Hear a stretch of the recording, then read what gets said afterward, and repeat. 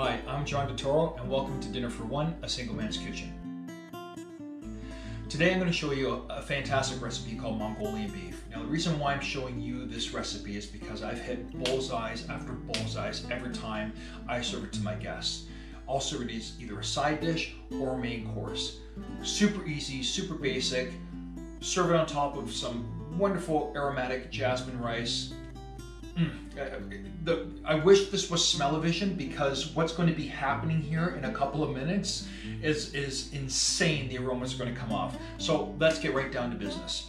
The first thing you're going to do is you're going to be buying a really good cut of flank steak. Now, flank steak's not the cheapest meat out there, but the way that we're going to be doing it, we're going to be cutting it at quarter inch strips.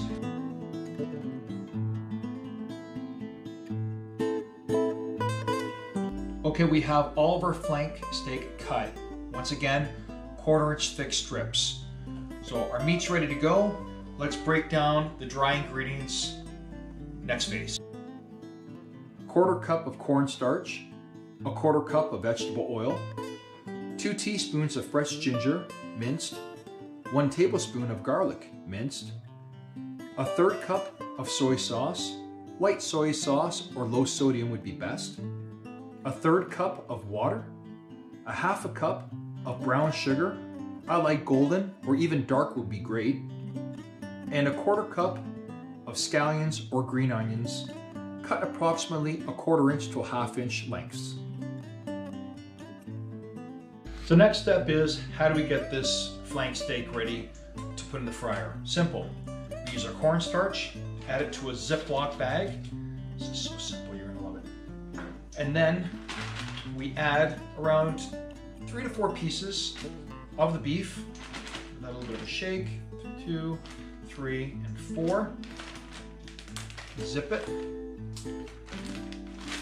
Don't get any easier and less messier than this.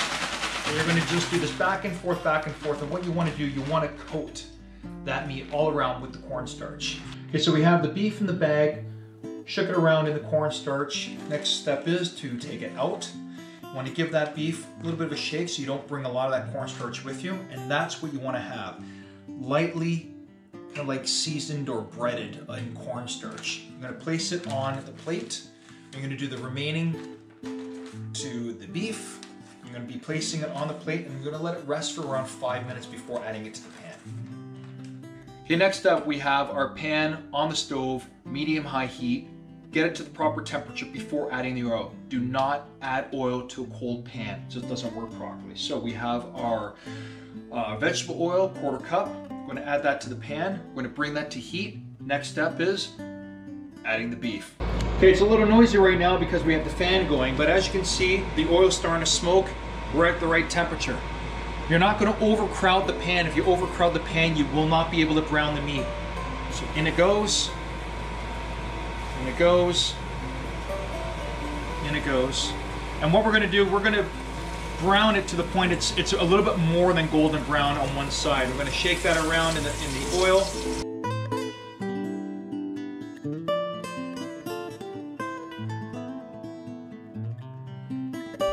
Meat is done. We're letting it rest for around three, five minutes, letting any excess oil fall to the uh, scotch towel underneath.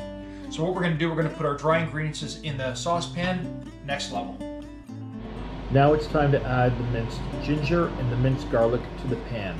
You want to saute these two ingredients for approximately 15, maybe 20 seconds, but no longer than that. Do not brown the garlic, it'll add a bitter taste to the dish. Next step, the wet ingredients. Soy sauce, water, and your brown sugar into the pan, stir it around, let it sit there, let it make friends with the ginger and the, and the garlic, do its thing for another five, maybe seven minutes.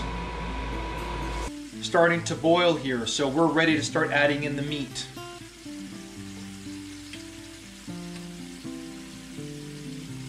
All the meat's been added to the pan. It's starting to come to a boil. This is an ingredient that you don't have to put in. I like a little bit of heat.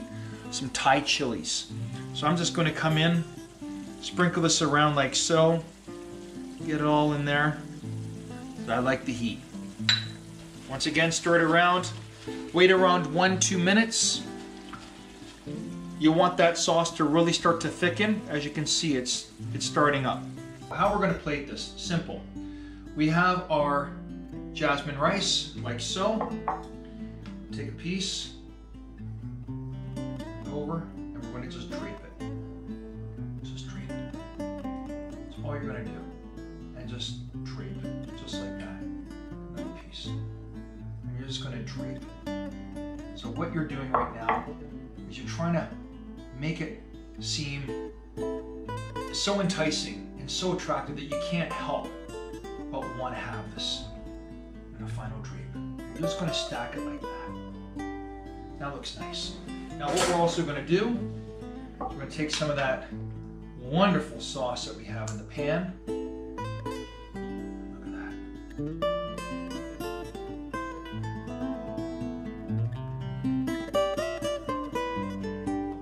And that's pretty much it. That's all you have. Mongolian beef. Try it. You're going to love it. You're going to make it for your friends. If you have anything else that you would like to see me cook, feel free to go on my YouTube channel, see my recipes, send me a message. Uh, for this one, I, I, got it. This one goes out to all the people that have been having dinner at my house and, and trying this. And now the secret's out. So hope to hear from you again and uh, tune in to another recipe.